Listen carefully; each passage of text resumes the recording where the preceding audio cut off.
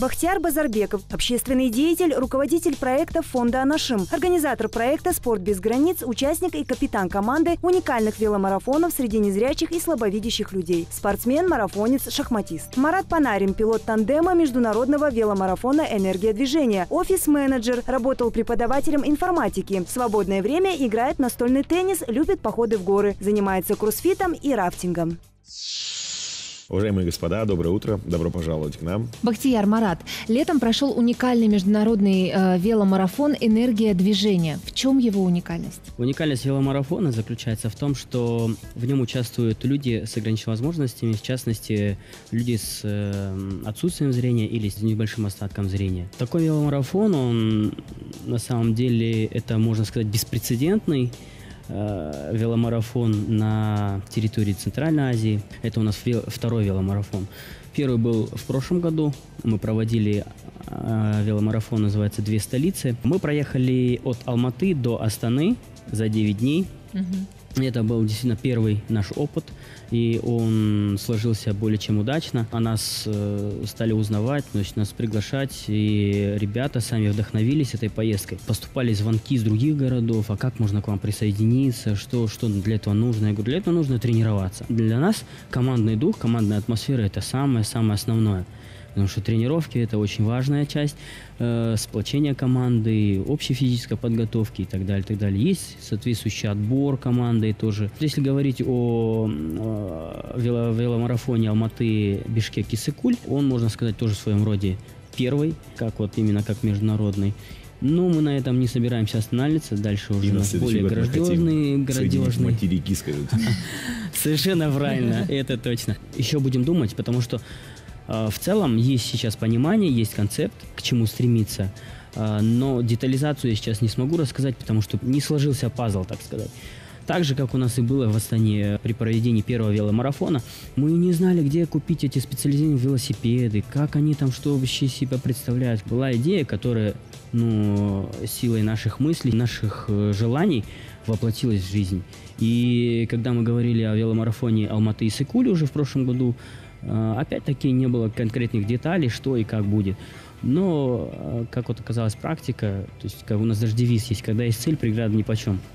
Поэтому, если есть цель, как бы говорится, все, все, все достижимо. Ну, как бы это уже не звучало избито, но это так. Марат, ну а вот вы лично, когда узнали о том, что состоится такой велотур, состоится такой велопроект, и почему именно вот вы решили принять участие в данном событии, скажите, Ну, пожалуйста. о проекте я узнал в апреле этого года. Э, Познакомился с Бахтяром на одном из э, таких тренингов. Узнал, что есть такой проект, и сразу же напросился к Бахтяру с, э, с просьбой, чтобы меня взяли этот проект, потому что я с детства люблю велосипед с пяти лет, то есть катался все время, и была цель там со своего родного села там доехать до другого, а тут появилась возможность именно преодолеть э, черту нашего государства, то есть доехать до другой страны. Поэтому ну, внутри что-то щелкнуло, я понял, что это мое, и напросился и добился того, чтобы меня взяли в команду. На самом деле я вам скажу, что э, на волонтерах, на пилотах лежит огромная ответственность. Одно дело, когда ты сам садишься на велосипед и едешь, ты, ну, то есть отвечаешь только за себя, можно сказать. Тут, когда сзади сидит у тебя незрячий человек, ты садишься на вот этот вот здоровый длинный велосипед, ощущения, конечно, ну, необычные, на- надо сказать, наверное, да, Марат? Первый раз э, на первую тренировку э, мне предложили сесть сзади на место стокера и э, закрыли мне глаза. Это у нас такая инициация, мы Да, всегда да, так да, делаем. да, да. Пилотов Чтобы посвящаем. понять, да, человека? Конечно, Да, то есть, конечно. Потому что в будущем, как я пилот, я должен понимать, что чувствует тот человек, стокер сзади. И вы знаете, когда мне закрыли глаза, и мы по парку э, Горького катались по этим э, дорожкам, слух, он обострился ну, раза в 3-4, наверное. То есть, если раньше вот я просто ходил по улицам, я просто слышал гул машин, гул города, я здесь начал слышать там пение птиц. То есть люди там ходят, да, парень с девушкой что-то там, ну, там, обсуждают, там ребенок пробежал. То есть все-все-все вот эти звуки, они как бы заполнили меня изнутри. И, то есть ничего не видя, но я стал намного лучше слышать и ощущать это все. Но на самом деле ну, очень страшно. И приходится просто доверять тому человеку, кто сидит перед тобой, то есть пилоту. Ну, я очень рад тому, что У меня э, сложились такие хорошие отношения, доверительные с моим стокером. И мы смогли вот преодолеть эту дистанцию без проблем, без травм. Это самое важное. Потому что пилоты проходят отбор, они проходят тренировку. Это, это и должна быть и психологическая совместимость, и физиологическая совместимость в плане одновременно крутить педали. Они должны полностью друг друга понимать, можно сказать, без слов. Стокер доверяет, можно сказать, ну, свою жизнь, да, этому человеку. То есть это достаточно экстремальный вид спорта, да, вело, вело ну и были, были падения, были травмы, без этого никак. Но... Ну, надеемся, были не страшные травмы. Нет, не страшные. Ну, Но таких... все-таки это все работает как единый организм. Там уже на трассе, когда ребята едут, э, преодолевая большие расстояния. Да, на трассах уже конкретно у нас ничего такого не происходило. Ну, на тренировках э, это вот, то есть в целом, когда мы уже готовы к непосредственно к э, заезду, Э, там уже все отработано. Но очень масштабный проект, сложный, да? А кто помогал вам в реализации? В прошлом году, когда мы организовывали Астану, нам э, мы организовали практически своими силами, за свои деньги, все своими усилиями. В этом году, конечно же, мы подошли уже более масштабно, более основать, потому что все-таки в два раза количество увеличилось наших участников. Если в прошлом году мы 9 человек э, выехали, а в этом году уже 18 человек, плюс еще волонтеры, плюс сопровождение, там все, все команда 30-35 человек. Mm-hmm. Это ну, такая большая ответственность, во всяком случае, для меня, для организатора. Это разные люди с разными установками, вообще разным там мировоззрением. А тут в дороге, в экстремальных условиях, ну, где-то дождь, где-то палатки надо ставить, где-то что. То есть это все. Для меня было важно сохранить атмосферу э, взаимопомощи, дружбы. Скажите, а как изменились люди с особыми потребностями после велопробега? Для, это же для них все было сделано. Да. Именно э, второй веломарафон, он бы не был возможным без, конечно, поддержки, потому что количество людей больше. Mm-hmm. И в этом нам помог фонд первого президента Республики Казахстан. Очень э, большая благодарность.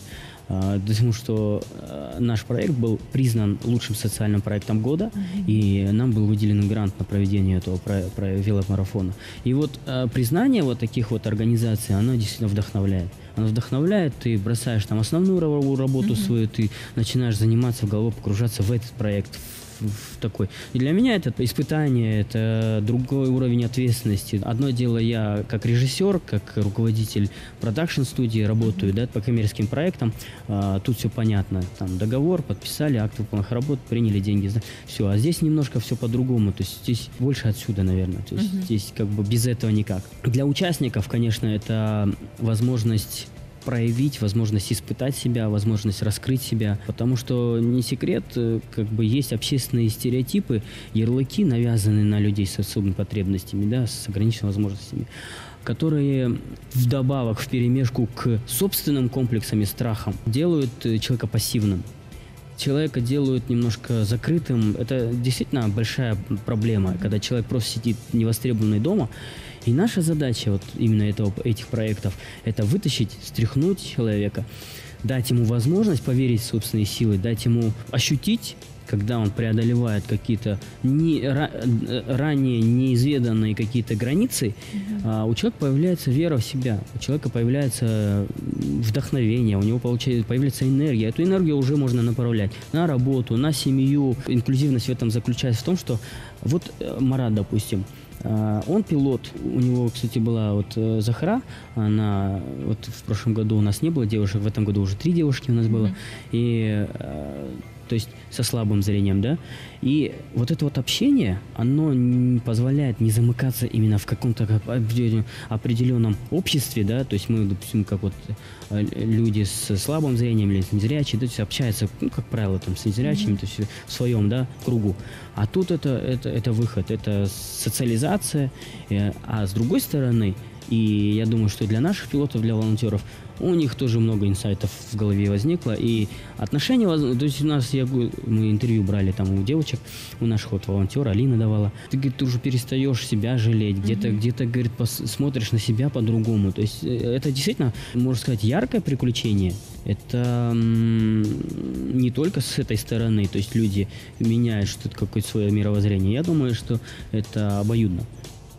Обоюдно и интересно более того. Интересно, да. Бахтияр, Это- ну вы знаете, вот, вот от большой армии зрителей канала Хабар мы хотим пожелать вам новых трасс. Марат, Бахтияр, ну, дорогие джентльмены, от вас несколько слов приветствия и пожелания всем, кто, возможно, хочет присоединиться к вам и всем, кто смотрит нашу утреннюю программу. Да, Будьте отличная любезны. возможность пригласить новых участников в ваш марафон. вам слово, господа. Всем э, жителям нашей республики я желаю здоровья, удачи и всегда, самое главное, верьте в себя, верьте в свои силы, тогда у вас все получится. От себя хотелось бы пожелать крепкого здоровья всем.